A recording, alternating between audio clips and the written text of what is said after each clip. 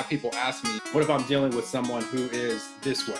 Um, or what if he's acting this way? I'm asking them, well, is that someone or something that you want to experience um, in your life? Well, they're like, no, I want someone that is loving, is caring, is, is this way.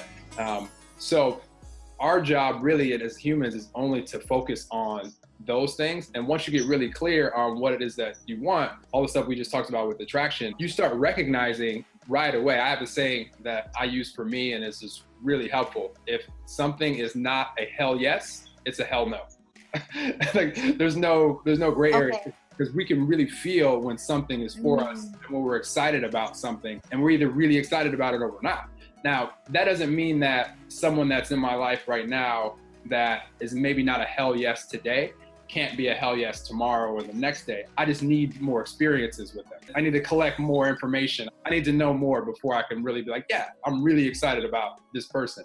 Um, but if it's a hell no, um, and you, are you're, you're leaning towards that, that's not likely to change uh, anytime soon because you have a clear picture of what you want.